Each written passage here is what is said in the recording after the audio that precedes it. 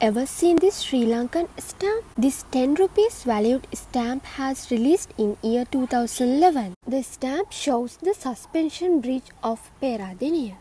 The stamp is 60 by 30 millimeter in size. I am going to visit there. First, we have to go to the botanical garden of Peradeniya. The garden is open every 7 days of the week from 7:30 a.m. to 5 p.m. We have to buy a ticket. For local adults, it is 100 rupees. This is the map of the garden. We have to go to this number 17. It is the suspension bridge. Peradeniya Botanical Garden has started in year 1821 with 60 hectares of areas. After passing this plum tree path, we could see the direction to the bridge.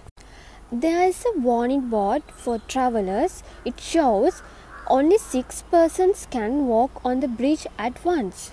This bridge lies across the Mahaveli River.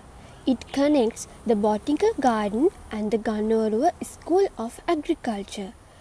It is 127 meters long and has built in 1935 during the British rule of Ceylon. When we walk in across the bridge, it is bouncing with every steps.